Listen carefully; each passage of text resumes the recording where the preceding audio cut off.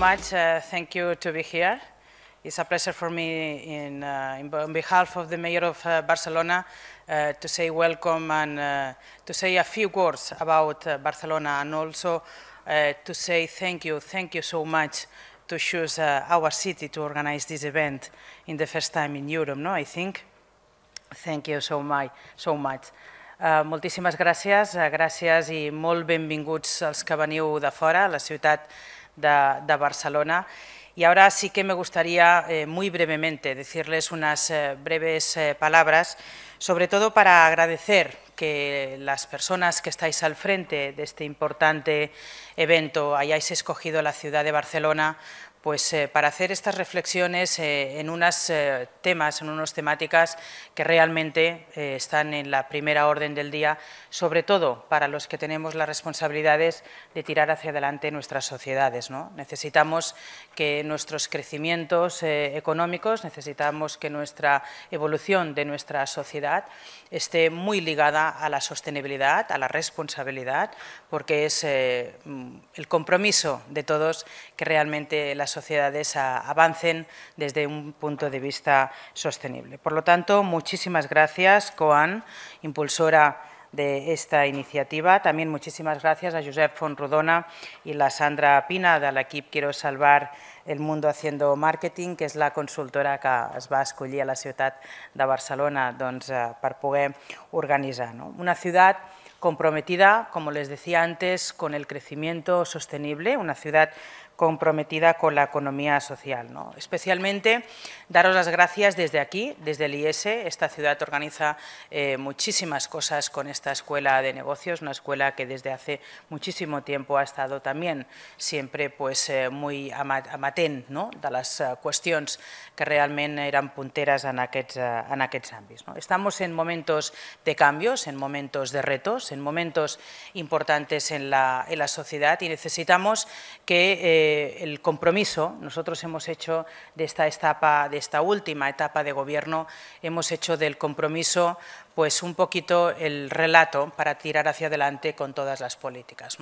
Eh, nuestra sociedad tiene hoy un gran reto, que es el paro, las personas que en estos momentos pues, eh, no pueden trabajar, no tienen eh, trabajo, y hemos hecho pues, de nuestras políticas de ocupación unas políticas de compromiso.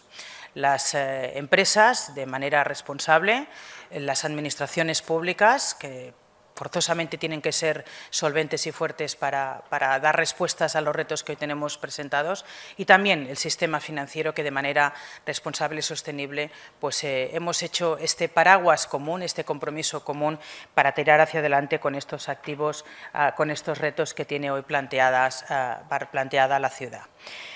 Barcelona tiene una marca, lo decíamos ahora hace justo entrando con Coan, ¿no? esta marca tan importante, ¿no? una, una, our brand is uh, recognized around the world, ¿no? it's recognized uh, uh, like a brand to uh, tourism, uh, architecture, gastronomy, culture. No?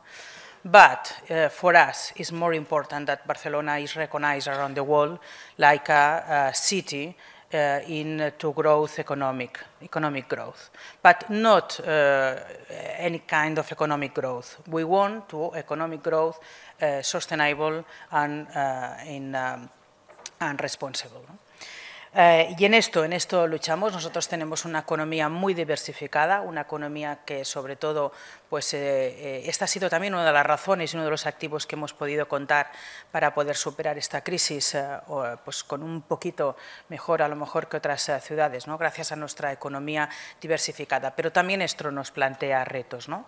El turismo para nosotros, por ejemplo, es muy importante. ¿no? Vivimos un millón y medio de personas, pero nos visitan 27 millones de personas al cabo al cabo del año. ¿no? Y necesitamos eh, que, por ejemplo, el turismo se gestione de manera sostenible, se gestione de manera responsable para poder realmente pues, hacer del sector eh, del turismo un sector económicamente transversal y que revierta para el crecimiento económico y para la riqueza en todas las capas de la población y en el resto de sectores. Barcelona tiene unas infraestructuras muy potentes, un puerto, un aeropuerto, unas infraestructuras que realmente le permiten, unas infraestructuras logísticas que les permite, le permite a la ciudad estar en los rankings, en los primeros rankings eh, de, ciudades a la hora de, por ejemplo, pues, eh, indicadores donde hay crecimiento económico. ¿no? Hemos tirado hacia adelante con políticas muy importantes en Smart City. Creemos que las ciudades inteligentes, las ciudades que apuestan por las nuevas tecnologías para hacer crecer nuestras ciudades, pues son unas ciudades que serán más sostenibles y más responsables al cabo de los años. Y nuestro alcalde tiene una obsesión. No cualquier Smart City sirve, sino Smart Cities destinadas al bienestar de las personas. Barcelona, por ejemplo, fue premiada por la Fundación Bloomberg por una iniciativa que es Vinclas, que es cómo aplicamos las Smart Cities en la gente mayor para que la gente mayor pueda estar conectada a través de las tecnologías y que realmente pues, eh, seamos eh, realmente responsables como sociedad desde este punto de vista. Em, somos, eh, eh, hemos hecho mm, de unos del talento de la y del conocimiento otro de los activos más importantes como, como ciudad. Y esto nos ha permitido crear todo un relato alrededor de la Creative Business City. Queremos ser una ciudad, como les decía antes, reconocida como una ciudad donde hay crecimiento económico, como una ciudad creativa y con talento a la hora de escoger nuestra ciudad para tirar hacia adelante con eh, el crecimiento económico. Para ello queremos hacer las cosas fáciles a las empresas. Estamos convencidos que la generación de ocupación, estamos convencidos que eh, pues, eh, este crecimiento que tenemos como personas y como sociedad pasará también para que las empresas pues, haya sostenibilidad y haya crecimiento. ¿no? Por eso hemos abierto el Barcelona Growth Center es nuestra icona económica para hacer de las eh, empresas un lugar donde aterrizar, un lugar donde realmente se les, eh, se les haga fácil establecerse en nuestra ciudad y crear sinergias con nuestra economía local y por eso también les quería poner a su disposición la Oficina de Atención a la Empresa. Ustedes hoy aquí se mm, van a trabajar alrededor de un lema, ¿no? reimaginar, rediseñar, regenerar. Para nosotros esto es también nuestra política de gobierno durante estos años. Esto ha sido una de las prioridades y de los objetivos de nuestra ciudad, como les decía antes, integrar la responsabilidad y la sostenibilidad en una economía social y en una economía corporativa. Y esto lo hemos hecho desde muchos puntos de vista. Desde el punto de vista medioambiental, Barcelona necesita, eh, y delante de los retos eh, que tenemos todos planteados, planteados desde el punto de vista climático, necesitamos avanzar muchísimo en temas medioambientales y por eso estamos trabajando desde las administraciones, pero también desde las empresas. Cualquier transformación urbanística que hacemos en nuestras calles, estamos ya poniendo pues, todos aquellos elementos de riego automático, todos aquellos elementos de sensores para la iluminación, todos aquellos elementos, pero también las empresas eh, tienen incentivos para poder realmente aplicar políticas medioambientales en sus... Eh, o energías renovables en sus empresas. El turismo, se lo decía antes, para nosotros este, estos años está siendo un gran reto el poder realmente trabajar este encaje del turismo con la ciudad y por eso hemos tirado hacia adelante. Barcelona hace muchos años que trabaja eh, desde este punto de vista. Ya en el 2011 fue, se le fue reconocida con, eh, por la UNESCO como una ciudad eh, responsable y sostenible desde el punto de vista turístico y al cabo de tres años hemos podido renovar esta certificación y trabajar para que, como les decía antes, las políticas turísticas sean eh, eh, responsables desde el punto de vista social, económico y medioambiental. Son los tres ejes sobre los que trabajamos el turismo. La movilidad, sé que me ha estado explicando Ana Mayó, eh, tenéis, no sé si es hoy o mañana, no sé, en San Pau, hoy, hoy mismo en San Pau, tenéis una, para trabajar específicamente los temas de movilidad sostenible, tenemos una plataforma muy importante, la plataforma LIF, donde están sentadas administraciones públicas, empresas privadas que trabajan alrededor del vehículo eléctrico, pero no solo vehículo eléctrico, sino movilidad sostenible para hacer realmente pues, eh, un paso hacia adelante en esta sociedad que todavía le falta ese chip cultural para la movilidad sostenible, pero que estamos trabajando para que realmente esto pronto sea una realidad. Eh, también nuestro modelo empresarial y nuestro modelo de gobierno trabaja eh, bajo este paraguas. Cuando hablamos de la colaboración público-privada, esto es un modelo muy nuestro, un modelo realmente de éxito. Trabajamos así en Fira de Barcelona, trabajamos en Turismo de Barcelona, trabajamos eh, con Cámara de Comercio, con PIMEC, con cantidad de organizaciones empresariales desde este punto de vista de colaboración público-privada para tirar hacia adelante. Pero sobre todo, sobre todo, queremos hacer partícipes a nuestra ciudadanía de todo esto. Y por eso les quiero dar especialmente las gracias, porque Ayer se organizó por primera vez ¿no? lo que es el, evento donde pues, se, hizo esta sinergia con la ciudad y donde se le hizo participar a la ciudad de realmente las iniciativas eh, de responsabilidad y sostenibilidad y desde este punto de vista pues para nosotros eh, fue realmente un placer que Barcelona fuera prueba piloto un poco de estas iniciativas de hacer que la ciudadanía participe. Muchísimas gracias por estar hoy aquí. Espero que ustedes tengan eh, pues, eh, un gran día de trabajo. Yo les digo mucho que a la gente cuando viene de congresos, cuando viene a trabajar, que, trabaje, que para eso han, venido, ¿no? que trabajen mucho, pero que sobre todo, sobre todo reserven una parte de su día, de su espacio para visitar esta ciudad, ni que sea hacerlo rápido para hacer un primer vistazo y estar convencidos de que tienen que volver, tienen que volver a, disfrutarla. Enjoy, enjoy uh, your work. Thank you so much. Enjoy your day. Good morning. Eh, buenos días. Eh, benvinguts. Eh. Eh, yes. I can speak English, but I'm going to, to make you suffer, okay? Uh, so if you don't mind, I'm going to speak in Spanish. Hoy estoy muy feliz porque estamos aquí después de cuatro años y medio trabajando para traer Sustainable Brands a España. Y, desde ahí os hablo, desde la felicidad de, todos los que formamos esta empresa por, por estar aquí con vosotros. Quiero dar las gracias a todos vosotros por venir. Unos habéis venido de más cerca, otros habéis venido de bastante lejos. Uno vais a estar aquí arriba y otros estáis ahí abajo. Pero todos estamos juntos y todos vamos a interactuar. Quiero dar las gracias a, a todas las organizaciones y todas las personas que nos han acompañado en estos en estos meses para hacer esto posible. Unos nos, han echado una mano con, dinero, eh, unos más y otros menos, y otros nos han echado una mano con, con lo que tenían, con recursos, con lo que sabían hacer. Unos más y otros menos también. Pero todos, todos nos han dado algo que es eh, fundamental, que es la, confianza para hacer esto. Eh, y eso es, eso es maravilloso. Eh, quiero dar las gracias a, a a Ford y a Acciona, pero también al resto, ¿no? a, a Bricodepot, Kingfisher, Caixa, Ecoembes, On5, Service, NH, Samsung. me acuerdo, nos acordamos de todas las conversaciones que hemos tenido con ellos para llegar hasta aquí. Recuerdo con, con Acciona, nos reunimos cuatro veces para ver si finalmente construíamos algo juntos y me llamaron para decirme que adelante cuando estaba recogiendo a mis niños en el colegio. Em, entonces, hay una dimensión muy personal, si queréis, en, la relación que hemos tenido con, todos vosotros. Quiero dar las gracias, por supuesto, a, al IES, cómo no dar las gracias al IES, que nos ha permitido, eh, eh, nos, ha, nos ha abierto la puerta. Pero sin que nadie los oiga, pues más allá del IES, yo quiero dar gracias a Joan, buen amigo que se ha puesto a nuestro lado en, todo momento para, para, que el IES estuviera aquí con nosotros. Em, y quiero dar las gracias, por supuesto, al Ayuntamiento de Barcelona, a Sonia, que me reuní con ella el día 2 de agosto del año pasado.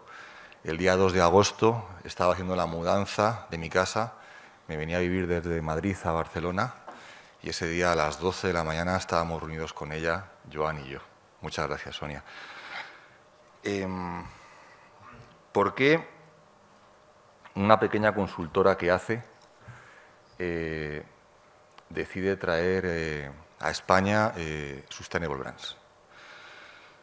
Pues porque sentíamos que en nuestro país había una conversación pendiente. Eh, en nuestro país se habla mucho de, de RSC, se habla mucho de sostenibilidad, pero se habla mucho desde una dimensión, si queréis, reputacional, desde cómo podemos eh, construir reputación para minimizar posibles riesgos reputacionales, que está bien, pero sinceramente también pensábamos que era insuficiente. Y quisimos traer Sustainable Brands porque Sustainable Brands es la comunidad donde el eje es la conversación en torno a cómo la sostenibilidad se convierte en palanca de negocio, en cómo se puede generar cambio haciendo negocios. Y también quisimos traer Sustainable Brands porque las conversaciones que hay en España en torno a estos temas, no nos engañemos, son endogámicas, eh, son muy locales. Eh, y nos parecía vital y fundamental saber qué opinaba gente que estaba haciendo cosas relacionadas con el tema más allá de nuestro país. No porque sean mejor que nosotros, sino porque simplemente tienen otra visión, hacen otras cosas y nos parece fundamental interactuar con ellos. Y esta conversación la queríamos liderar desde Quiero salvar el mundo haciendo marketing. Por dos motivos. Uno, porque somos empresa y muchas veces estas conversaciones se tienen desde el mundo académico, se tienen desde el mundo fundacional o asociaciones sectoriales, eh, pero nos apetecía que fuera Quiero, una empresa, quien liderase esta conversación. Y que además la liderase como pyme, porque una vez más también muchas veces estas conversaciones se tienen desde la dimensión de las empresas grandes y nos apetecía también que fuera una pequeña empresa la que gestionase eso. Porque nosotros somos de la opinión de que este mundo no necesita empresas grandes y este mundo no necesita empresas pequeñas. Este mundo lo que necesita son grandes empresas. Y desde ahí la sostenibilidad es una palanca fundamental para construir esas grandes empresas. ¿Por qué eh, una pequeña compañía como nosotros decide incorporar a la experiencia de Sustainable Brands la dimensión ciudadana y la dimensión de la administración. Pues porque para nosotros la sostenibilidad es un punto de encuentro entre la ciudadanía, las administraciones y el mundo de las empresas. Y por ese motivo, a la, maravillosa experiencia de Sustainable Brands, muy centrada en un eje business to business fundamental y crucial, hemos incorporado, que empezó ayer, Sustainable Sunday, como una experiencia de relación e interacción de las empresas, las marcas con la ciudadanía de una manera natural, cordial y divertida. Y esta tarde-noche incorporamos Co-Creating Cities como ese espacio maravilloso de relación entre las marcas, las administraciones y los ciudadanos en torno a cómo construir mejores ciudades. Las empresas, las marcas, eh, tienen la necesidad de recuperar el espacio público. Se fueron de ahí, pero tienen necesidad de recuperarlo. Y es fundamental recuperarlo desde no el colonialismo, sino la convivencia. Y ese ejercicio maravilloso de, ese recuperar ese espacio, eh, Co-Creating City nos puede ayudar a ello. Os pido tres cosas en estos dos días. Lo primero, os pido que seamos humildes, porque esto acaba de empezar. Este, este sector, nuestra actividad es tremendamente joven. Eh, nos queda muchísimo por hacer y todavía estamos aprendiendo. No tenemos que demostrarnos nada. Estamos aquí para compartir. La segunda cosa que os pido es que seamos generosos. No está la gente que está aquí arriba ni la gente que está allá abajo. Estamos todos aquí para hablar, para interactuar y para aprender unos de otros. Y lo tercero que os pido es que seamos ambiciosos, porque hace cinco años Sandra fue a San Diego, cuando volvió me contó lo que vio y los dos decidimos, esto hay que traerlo a España. Ha sido cinco años, pero aquí estamos. Y acabo con un pequeño secreto. Yo siempre he sido muy mal estudiante, muy malo. He, suspendido cosas que no se podían suspender y he repetido cosas que bajo ningún concepto se podían repetir. Cuando era pequeño mi madre siempre me decía, José, hace más el que quiere que el que puede. Yo os invito a querer. Gracias. People who, uh, who say to me that I am an inspiration of any sort, I can only respond by saying that I am part of a circle of inspiration, and Sandra and Jose. Um, oh, thank you very much. Excuse me, I'm short. Um, they haven't allowed me a headset because normally I pace and wander. Let's see. Hopefully, look at that. Wow. Okay. Um, hello. Um, welcome to Sustainable Brands Barcelona, and I couldn't be happier to be here today. Um, as Sandra and Jose noted, it's been a long journey coming. Um, we started uh, ourselves in 2006, so it's, it's, not so far after we started our little venture in the United States that, that Sandra and Jose became aware of it and, and began with us to um, aspire to changing the world on a large scale. And so here we are, one step at a time with intention is, is the, the driver. Um, I just want to uh, take a minute to say thank you, particularly to, to Quiero, to the City of Barcelona, to ESA, again, for coming together to make today possible. Um, I want to thank the speakers who have come from overseas to share their wisdom. This is not a case of us being able to pay exorbitant speaker fees for the expertise that is being shared with you for the next couple of days. It's a, um, an act of generosity and uh, shared values and shared intention that brings these people who have busy lives um, here to share with you what they've been learning about this um, intention that we have to create uh, business for good. So I thank you for that. Um, and you're going to be you're in for a treat um, because we are uh, we know already what um, what wisdom will be shared with you. I want to thank also our partners from Bangkok and um, from Buenos Aires who are here.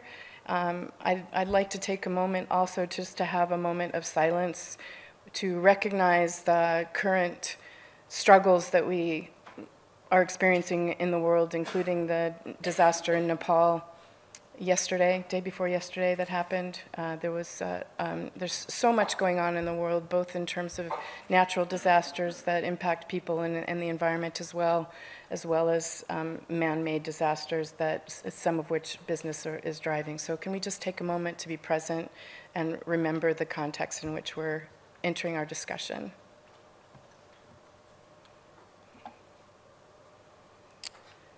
Okay, and then from there, let's see if I can make this work. Um, I'm just going to take a couple of minutes, and I can't pace, which is hard for me, um, to tell you a little bit uh, contextually about what, what it is that we're doing here and why this conversation is important to you. Um, we set out, as I say, in 2006, recognizing that the world in the 21st century was uh, increasingly complex and that we as a humanity faced an increasing number of challenges, environmental and social, that needed to be addressed one way or the other. And so our, our goal with starting Sustainable Brands was really to shift the world to an economy that recognized and dealt with those environmental and social challenges in a way that could lead us to uh, the flourishing future that we all hope for for our kids we really saw brands as a key enabler for that, and I'll say a little bit more about that in a minute. And so, our mission as a company is to really help brands find paths to business success by leading the way to that future. We really um, wanted to change the conversation away from uh, what was commonly held at the time, uh, uh, which is that business is, is the enemy, but, but in fact, uh, we feel like business can be the hero for, for our time. And we wanted to um, uh, help people understand that yes, we have a responsibility to, to act ethically in business as we do in our personal lives, but that the missed opportunity is the and in the conversation, which is that that um, sustainability is also a driver, the biggest driver, in our opinion, of economic opportunity in the 21st century. So it's both responsibility and opportunity, and um, thinking about it in that way is a fundamental shift. Um, so the, the, uh, again, from the beginning, which was a group of people about this size, 200, 225 people, uh, we, we came together in, in New Orleans to begin this conversation with some early uh, leaders, including Walmart and General Electric and, and many others. Um, we have grown now around the world to this year we will touch a million readers on sustainablebrand.com. We will be convening 10,000 people like this around the world on four continents. We have a, a, an active learning corporate member network that includes some of the world's biggest brands, Unilever, Procter & Gamble, and many, many others who are coming together in small groups to try and share their learning and accelerate this shift. And as you, as you know now, uh, now actually 10 cities will be um, hosting conversations like this um, happily now for the first time in Barcelona. We hope this will be the beginning of a long, uh, a long history of conversation, ongoing conversation and community here. The question really is why is this community growing? And there are a couple reasons for it. One of them is because, from a business standpoint, the value of brand has become a significant part of the market capitalization of business. It's not that um, now we're shifting away from the tangible assets of business being the primary market or, or, or uh, financial driver to now intangibles that, that we um, attribute to brand. And yet, uh, th these figures were, were capped in, in 2010, I believe, yes.